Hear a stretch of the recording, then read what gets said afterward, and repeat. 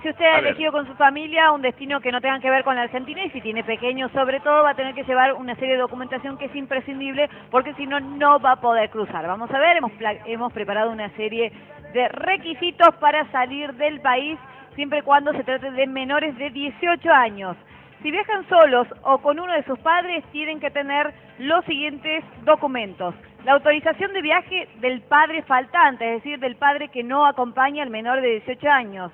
la partida de nacimiento o libreta de matrimonio, el DNI o cédula de identidad y el pasaporte vigente, por supuesto, pero si viajase con ambos padres,